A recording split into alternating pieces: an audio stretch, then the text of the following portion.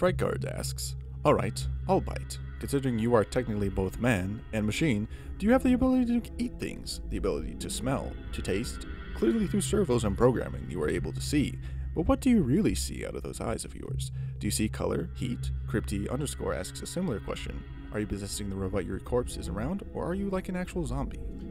Parts of my body that fail to work have been replaced by this costume, such as my eyelids. But for the most part, I am still miserably human.